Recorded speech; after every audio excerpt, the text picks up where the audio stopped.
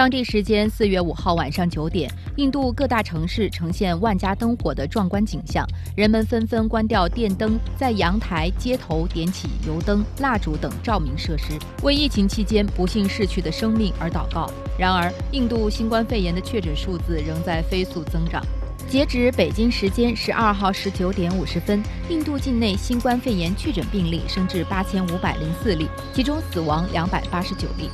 印度的疫情引发全球担忧，被形容为坐在了即将喷发的火山口。印度政府自三月二十五号起，在全国范围内实施封城措施，而这一措施可能延长两周至四月底。那么，从三月二十五号印度进入全国封锁以来呢，政府已经加大了对医疗物资的保障力度。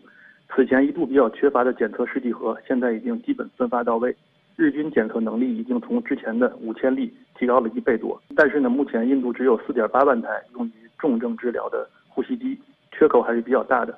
印度政府上个月已经要求多个汽车生产商临时改变生产线，用于制造呼吸机，预计每月以后可以每月生产一万台。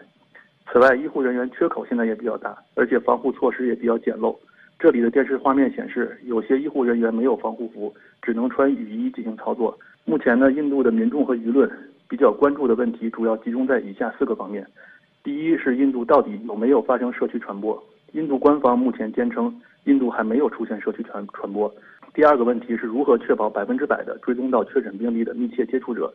第三个担心是公共卫生基础设施短缺，如病床和医护人员。民众和舆论担心，如果未来确诊病例激增，政府是不是能够有效应对？最后，不少专家也担心印度经济在长时间的全国封锁下的承压能力究竟怎么样，以及在后疫情时代如何提提振经济。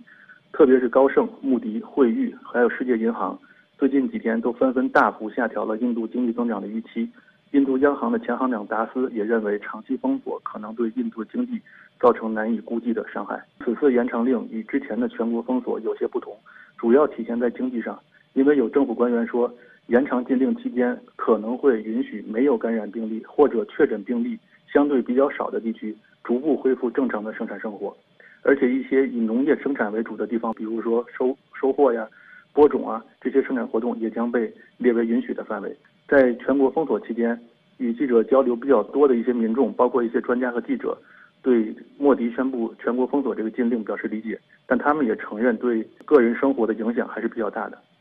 目前封城后关停工厂和商店的举措，已导致在城市打工的1.39亿印度农民瞬间失业，数千万民众或滞留在德里、孟买等大城市的汽车站，或者不得不徒步返乡。尽管政府已经开始调集客车协助民众返乡，并要求各地为返乡农民建立隔离营地，但大规模聚集和大范围的人口流动已然形成。更令人忧心的是，位于印度孟买的亚洲最大贫民窟。卡拉维已出现确诊病例，其中包括死亡病例。在这仅有两平方公里的面积上，居住着约一百万人人口。据悉，印度对医疗卫生的支出仅占国内生产总值的百分之三点七。由于医疗资源短缺，政府只能借助低成本的方式对抗疫情。一旦疫情在这里爆发，后果不堪设想。